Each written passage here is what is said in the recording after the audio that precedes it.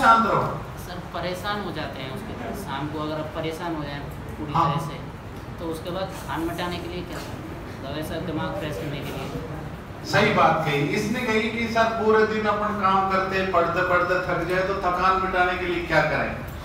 हाँ। अच्छा अच्छा। तू अभी तक क्या करता है?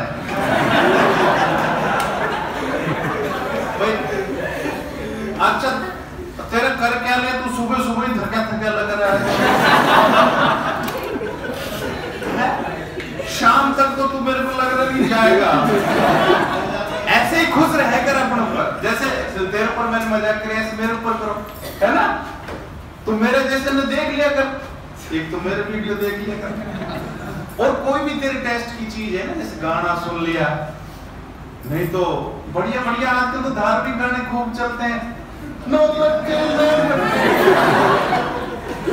तो तेरा मनोरंजन हो जाएगा। जो जो सर तो ऐसे साधु जैसे ही हैं।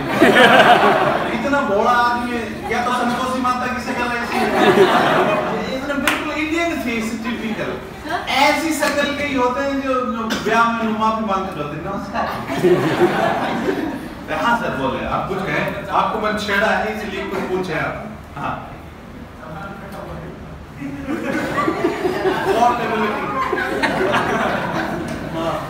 अवेलेबिलिटी हाँ, हो। गई कुछ कहेंगे सर की तरफ़ से? मैं तो सर ये पूछना चाहता हूँ जैसे आप इतने बड़े अधिकारी हो हाँ। सीआई लेवल के अधिकारी हो हाँ। हम कांस्टेबल से भी इतने घबरा जाते हैं बाहर जाते हैं तो न उनसे कुछ पूछ पाते हैं न कुछ सामने आते हैं तो घबरा जाते हैं। है ना? बहुत अच्छी बात पूछी है सर ने। सर कह रहे हैं कि आप अधिकारी हो लेकिन हम जैसे जो हमारा जो पहली इकाई शुरू होती है कांस्टेबल वो भी हमारा बीट अफसर होता है वो भी अधिकारी होता है। लेकिन उसकी छवि से कई बार अपन घबरा जाते हैं, उसका व्यवहार से अपन घबरा जाते हैं। एक्चुअली क्या उसकी भी गलती नहीं है। उसकी पब्लिक डीलिंग इतनी रहती है सुबह से लेकर शाम तक, और कई लोग तो वाकई बहुत ज़्यादा अति करते हैं। तो उनके व्यवहार में काफ़ी बदलाव आता है, वो रिजिड हो जाते हैं।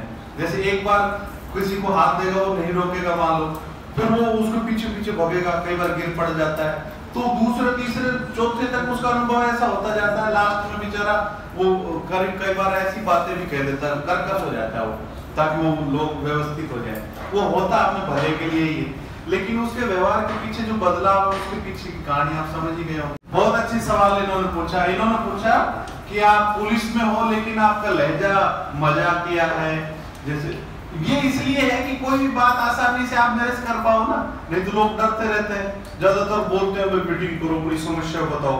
फिर भले उनको इंस्ट्रक्ट कर देता देख बड़े अफसर आ रहे ज़्यादा बोलने की ज़रूरत नहीं।